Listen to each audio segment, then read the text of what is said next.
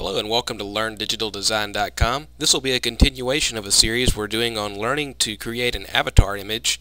If you haven't seen the previous tutorials, you need to uh, back up and go view those first. Uh, you can find them on our website at www.learndigitaldesign.com. See this line here I'm doing now is would look ugly there if you could see it, but you won't be able to see it when we're done. You'll see how that's going to be done shortly. Alright, well we've got the eyes, the eyebrows, the lips, the hair. Now we're going to make another little area over here to the side. This is kind of my secret to making avatars here. So, don't tell anyone. I'm taking this area and I'm going to uh, go to the fill and stroke panel and remove the border or the line here. I'm going to lock it by going to object properties lock close that out. And now this is lot just like the background. And this is kind of going to be my canvas. I'm going to copy and paste everything I've done so far over onto this blue area here. It doesn't have to be blue, it could be white, but I just made it blue so you can see you can see white on top of this light blue better. So now I'm deleting everything I've done so far over here to the right except for the line around the face you will never delete that until the very very end of the of the uh, design process. So just get used to that being there. Now I'm uh, using the the dropper tool to get a color from the hair and I'm going to do the same thing for the face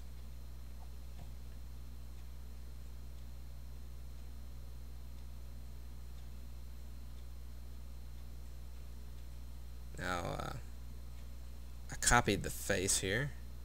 And the reason I did that, or duplicated it actually, the reason I did that is because of those path functions I told you about with the hair. I'm going to make a, uh, this is kind of going to be like a little mask here that I'm making.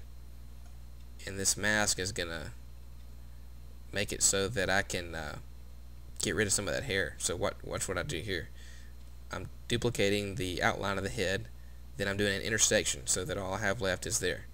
Now I'm going to copy or, and paste that.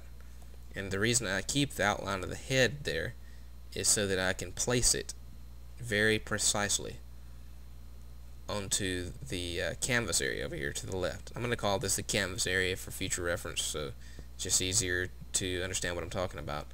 But I'm moving that over on top of there and I'm going to get it lined up just perfectly because if it's not lined up perfectly you'll see gaps. But it's not hard to do with this technique. Now I'm going to color it a little different color so we can see it. Um, now we're going to do a difference. So what that did is actually it cut a hole out of the hair area we can get rid of that see what it did here it actually cut a hole out of the hair where the cheeks are going to stick through because the head at the top is underneath the hair. So the head at the bottom cannot. And we can get rid of that on the right side and move over just a little bit. Now we got to put in some color for these eyebrows, eyes, and lips.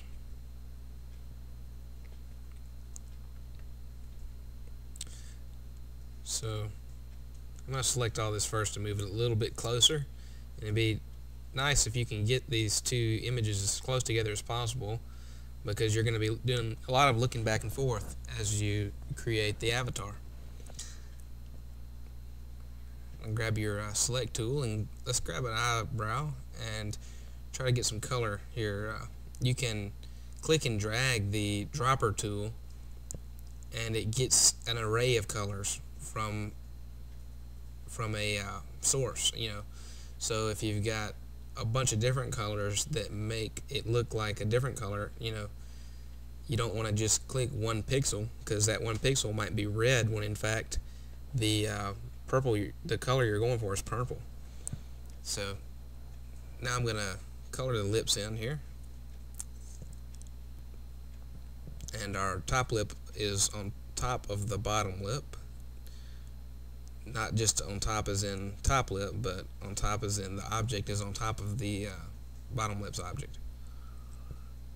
I'm gonna use our dropper tool here to try to get the color of the outside of the eye. Don't just go and you know think that uh, eye the eye, white of your eye is actually white and color it white because it's not going to look right. It's actually not going to be white. It's going to be kind of a grayish color. So be sure and use your eyedropper tool to get that color. You know, I never, when I'm doing this type of operation where I'm tracing uh, an avatar, I don't ever actually try to choose my own colors. I always use the dropper tool for every color that I get so that everything is as realistic as possible and as close to the actual image as possible. Grabbing the uh, color for the eyelashes now.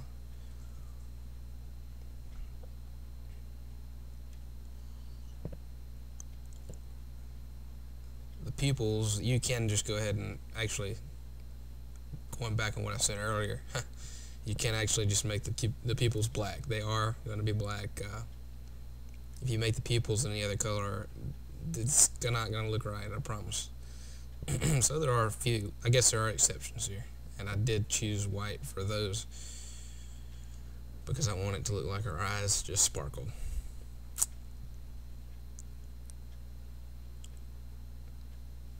I'm getting rid of all of these strokes now. See what I mean about these blue strokes? I do not want them in my image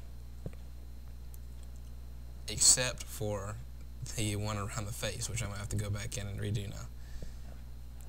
I want it there because when I line up the line around the face on the uh, model on the right, I want it to be able to line up perfectly, so I'm going to leave that there. And I'm not going to mess with it.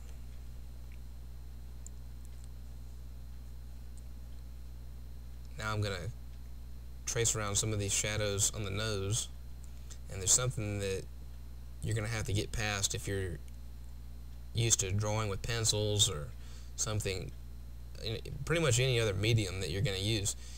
Uh, you you've got to get out of thinking in lines. And yes we're using lines to trace around these objects but we're not thinking in lines we're thinking in objects and planes and different color areas on the face or whatever we're doing. And uh, yes, I say whatever we're doing because once you can do a face, you can do anything.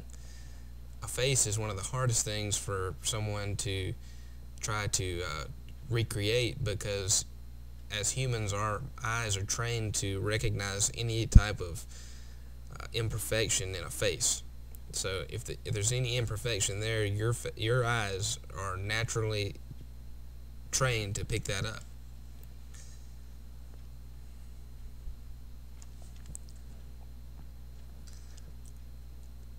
So I'm just going to trace around this other uh, shadow over here.